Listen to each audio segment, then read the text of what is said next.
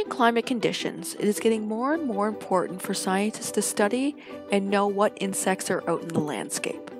Within British Columbia, there are several insect species that damage agricultural crops.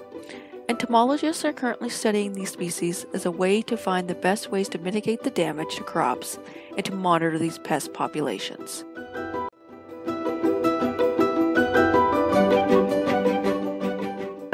Collect insects is the use of a pitfall trap. Pitfall traps are small pits made to capture smaller organisms, including insects that make their living on the ground. Although there are several different designs for pitfall traps, they usually involve burying a cup in the ground with an opening that will ensure that insects can crawl in and get trapped. Generally, there is also something inside the cup to kill insects once inside. There's also usually a cover to minimize disturbance and prevent trapped insects from getting out. Researchers can use these traps in a variety of areas, depending on what species they are targeting.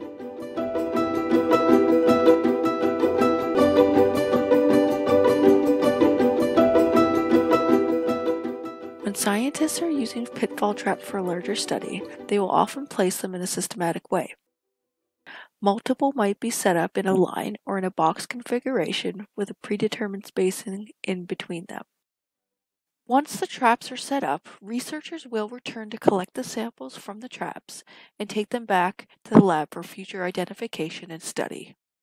Anyone can set up these traps to monitor or discover what insects or pests are in their fields, with the proper materials and a little time. This basic design has several key pieces. Plastic cup with a lid, a hole punched out to make spaces for the insects to crawl in, and a water and RV antifreeze mix of 3 parts water, to 1 part antifreeze.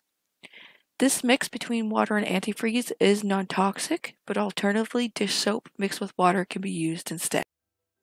The first thing that needs to be considered before setting up your traps is to make sure you set up at the right time of year. Generally, you can set them up between May and September, but if there's a species in particular you're looking for, you should research when they are most active on the ground to increase your chances of catching them. You will then need to decide where and how to set up. You may have several areas you would like to monitor for insects, but if you're targeting a pest species, make sure that the traps are set up in productive areas of the field where you have the most potential to catch them. The materials needed for setup include a trowel, your plastic cup that has the hole punched out, small rock, some way to mark the spot, and the pre-prepared antifreeze solution. The first step is to dig a hole the depth of your cup in the ground and place the plastic cup in so the punch-up holes are at ground level. You will then need to pack as much dirt around the cup as needed to keep it secure. Fill the cup halfway with your antifreeze mix. Place the cup lid with the rock on top to minimize disturbance. If you want to locate the trap easier when you return to collect it, paint the rock or ribbon it.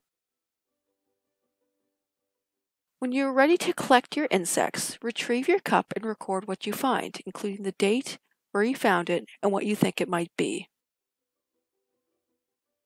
If you cannot identify the insect yourself in the field, you can use the strainer, tweezers, and container to collect your insect. You can later store it in the freezer for future identification. Just make sure that there's a label inside which includes the date and location. You can identify it yourself or reach out to the entomology community for assistance.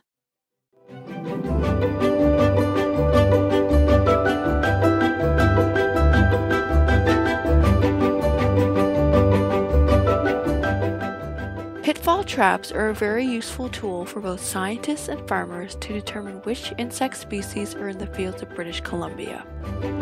By setting up traps in your own fields, you not only can figure out what pests might possibly be harmful to your crops, but contribute to a changing understanding of what insect communities are present around the region. With shifting climate, species are being found in new areas, and it is now more important than ever to set up a monitoring of species to ensure the future health of both our crops and the insects that are so intertwined with them.